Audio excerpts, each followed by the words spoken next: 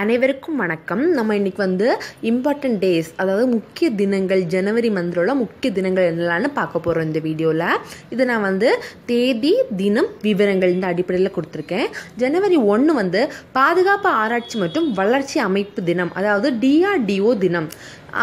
அதை எதுக்கு கொண்டாடுறோன்னா ஆயிரத்தி தொள்ளாயிரத்தி ஐம்பத்தெட்டில் தான் வந்து டிஆர்டிஓன்னு ஒரு அமைப்பு ஏற்படுத்தப்பட்டு அது வந்து பாதுகாப்பு துறையில் ஆராய்ச்சி பணிகளை மேற்கொள்வதற்காக பத்து ஆய்வங்களுடன் நிறுவப்படுது. இதை நினைவுபடுத்தும் விதமாக தான் டிஆர்டிஓ தினம் ஜனவரி ஒன்று கொண்டாடப்படுது. ஜனவரி ஒன்று வந்து உலக குடும்ப தினமாகவும் கொண்டாடப்படுகிறது.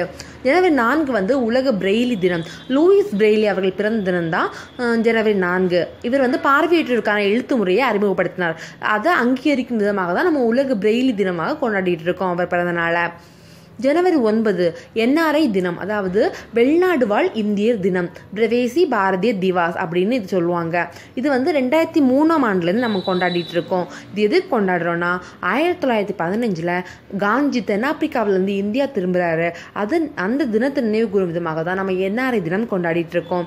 ஜனவரி பத்து உலக ஹிந்தி தினம் அதாவது ஆயிரத்தி தொள்ளாயிரத்தி எழுபத்தஞ்சில் ஜனவரி பத்தாம் தேதி முதல் ஹிந்தி மாநாடு நடத்தப்படுது. இந்த நினைவுபடுத்தும் விதமாக ஜனவரி பத்து வந்து உலக ஹிந்தி தினம் கொண்டாடப்பட்டு வருகிறது. ஜனவரி பன்னெண்டு தேசிய இளைஞர் தினம். அன்னைக்கு தான் சுவாமி விவேகானந்தர் பிறந்த நாள். அதில் வந்து ஆயிரத்தி தொள்ளாயிரத்தி எண்பத்தஞ்சிலேருந்து நம்ம வந்து தேசிய இளைஞர் தினமாக கொண்டாடிட்டு இருக்கோம்.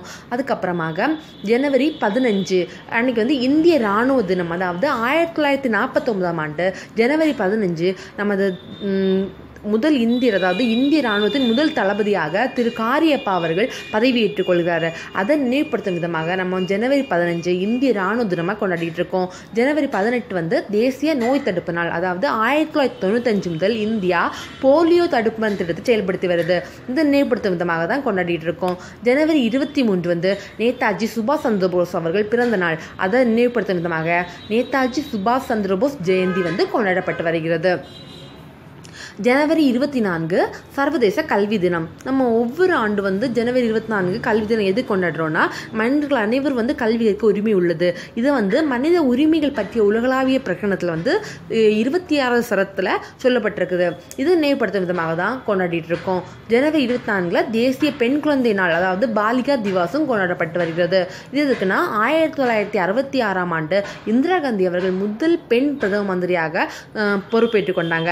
அதன் நினைவுபடுத்த விதமாக ரெண்டாயிரத்தி ஒன்பதாம் ஆண்டு முதல் நம்ம வந்து ராஷ்டிரிய பாலிகா திவாஸ் அதாவது தேசிய பெண் குழந்தைகள் தினம் வந்து கொண்டாடப்பட்டு வருகிறது. ஜனவரி இருபத்தி ஐந்து தேசிய சுற்றுலா தினம் நம்ம கொண்டாடிட்டு இருக்கோம்.